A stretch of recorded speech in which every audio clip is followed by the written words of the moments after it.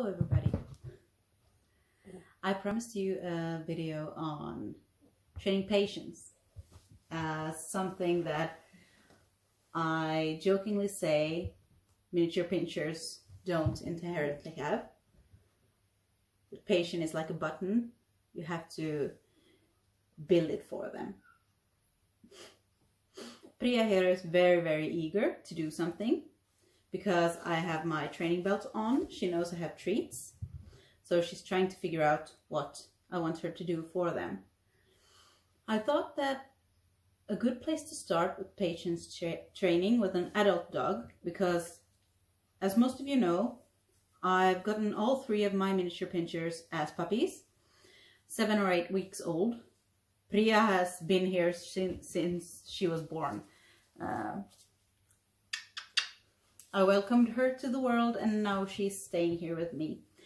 Uh, so with puppies, I usually start the, the patience training with uh, feeding. Uh, teaching them that unless they sit, the bowl won't come to the ground. And uh, sounds really hard, but it isn't because they are really smart. I usually just stand there with the bowl because in puppies, and dogs in general, uh, sit is something they offer very freely. So as soon as the puppy sits, I hurry up to put down food so they get the reward for doing what I want. Uh, and with time, I do it so that unless they remain sitting, the bowl does not reach the ground. So I can be standing there with the bowl, the dog can be sitting. If it stands up, I stand up straight again. It doesn't take many tries for the dog to understand that the food won't be served unless they sit. And the first step is to have them sitting until the bowl reaches the ground and then they eat. The second step is having them wait for a command to release for them to eat. But this is how I do it with puppies. But since all my dogs already know this, I really can't show you how to teach that. I can only try to explain it as best I can. So I thought I would start with the command I think is really important. Most of you saw it now in my video with the geese.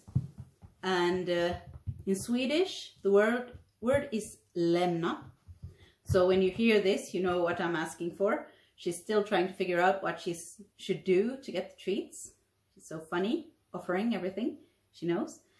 Um, but when you start the leave it training, there's something really important to know. If you teach dog to leave something, that's not like a wait command that they have to withstand for a moment and then get it. If I decide that the treats I have in this hand is for mm. leave it, this dog may never eat these treats that I am asking it to leave. Because if I do give them, it will eat away on the foundation of leave it. Because the leave it command isn't as much for fun as for function. The leave it command can save your dog's life when you're out walking and you find a poison bait or something that could be it, a suspicious meatball, something that sends the alarms in your brain saying this could be dangerous for my dog. And if you say leave it and they know this command, they won't touch it. Because if you say leave it, it means you are never ever in this lifetime allowed to touch this. Okay, so you start with some treats in your hand and usually your dog is accustomed to being able to take them from her hand, right? Priya hasn't really exercised this a lot, so that's why I thought this could be a great place to start and show you. So as soon as she decides not to have her nose near the treat, I will give her a reward from my other hand.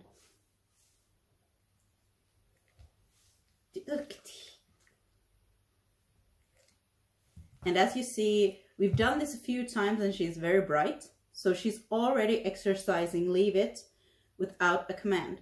Even if I'm putting the hand near her, she is moving her snout away from the treats because she knows this is a leave it exercise.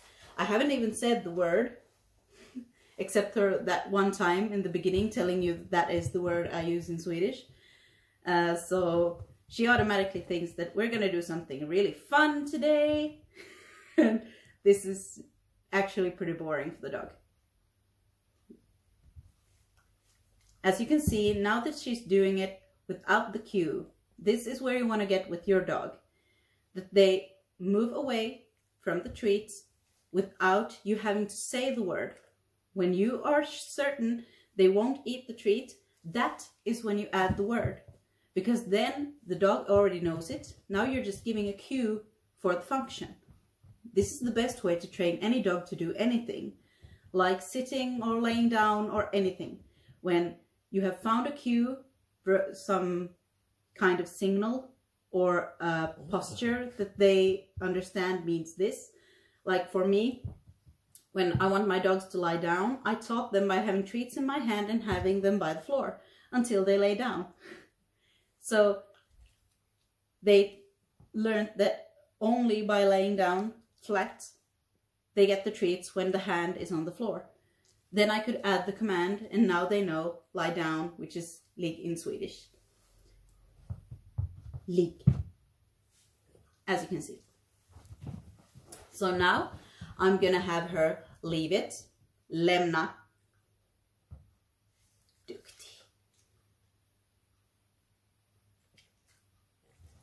lämnar. Duktig. It's funny to watch different dogs do this because she is so treat driven, she can't even look at them. My eldest, her mom, that's nine and a half now, she can look at whatever I'm asking her to leave it and still withstand. But mm-hmm. Priya knows her herself. She knows if she looks at it, she's going to want to take it. So she doesn't even look at it. Lämna. Duktig. Lämna. Duktig. I put the treat in front of her on the ground. I don't know if it's quite in frame. I'm just filming this with my mobile phone. So I'm sorry, no professional video. That's why there's a glare on the, from the white background and everything. lämna. Lämna. Duktig. Åh, du är duktig. Fin. Her nose went near these treats and she decided not to take them. She wavered. So I rewarded her for making the right decision. Lämna. Wow, duktig. Lämna. I have them right beside her face.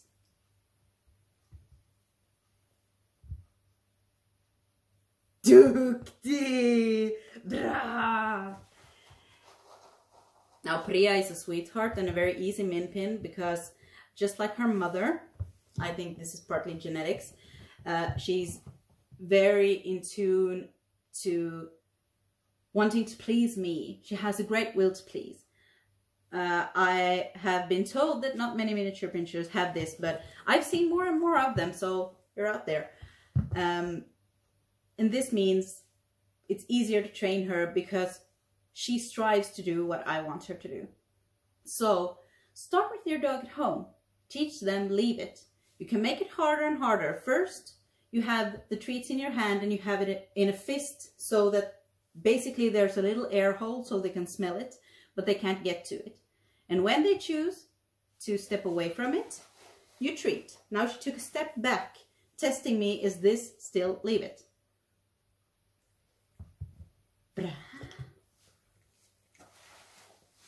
And it's so, I, I, I hope some of you will make a video when you're doing this with your dog because it would be really fun to see how your dog acts.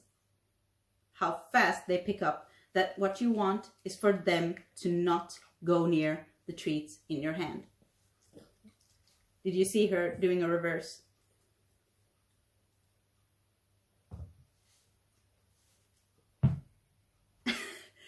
And as she is very driven and wants to actually work, she's still trying to get me to do something else. That's for next video.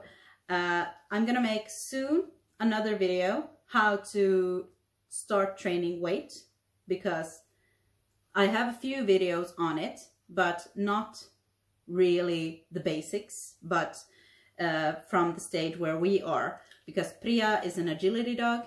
She really needs to have a very firm and uh, assertive stay and wait for a release. Because when she's out there on the agility course, she doesn't want to do anything more than do those hurdles.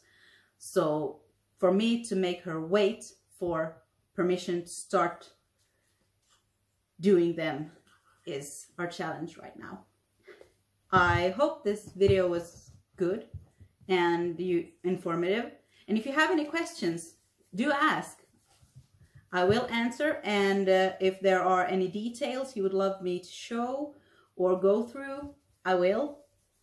Uh, my dogs are always up for it.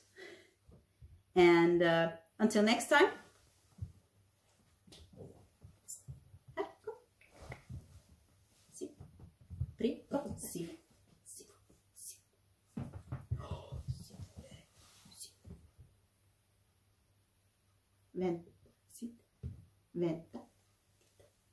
Bye.